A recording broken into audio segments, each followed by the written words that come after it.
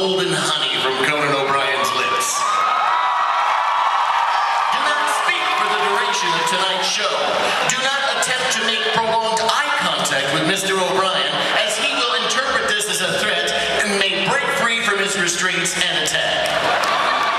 And unfortunately, due to a sudden illness, tonight